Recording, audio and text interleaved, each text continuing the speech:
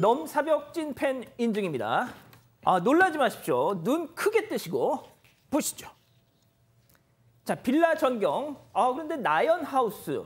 어허, 나연 하우스. 그리고 정연 하우스. 자, 그리고 사나 하우스, 모모 하우스.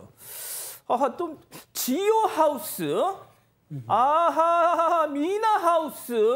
야야야, 이좀 다현 빌라, 다현 아니 다현빌 채영 하우스. 자, 눈치채셨나요? 그렇습니다.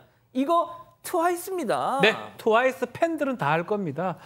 자, 이 아주 트와이스의 아마 팬으로 알려진 분이 이 하우스로 이렇게 이름을 하나씩 나연, 정연, 사나, 모모, 지효, 뭐 미나, 채영 다, 다 했는데 원래 트와이스는 아홉 명입니다. 그렇습니다. 한 명이 지금 안 보여요. 지금 저기 쯔위. 쯔위가 없어요. 아.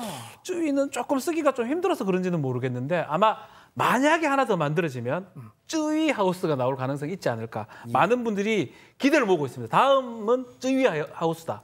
기대를 모으고 있습니다. 아, 쯔위 하우스. 아, 저는 팝팝팝을 아, 나연빌에서 살고 싶습니다. 자, 소장님.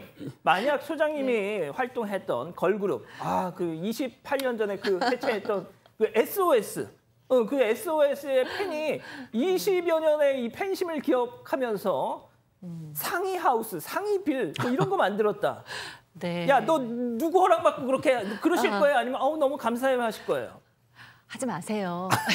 아, 왜, 왜, 왜? 아니 좋잖아. 그 나이 때 하는 거면 고마울 것 같아요. 사실 트와이스 멤버들은 잊기 어려울 것 같은데 이제 이 나이가 되면 상해하우스더라고 했다가 나중에 이제 좀 이따 지우고 다시 뭐 나연하우스 이런 걸로 바뀔 것 같고 그냥 하지 마세요 이렇게 얘기할 것 같은데 근데 저기는 도대체 트와이스 팬들이 살아야 될 것 같기도 한데 주로 남자들이 살 것 같은 느낌도 있네요.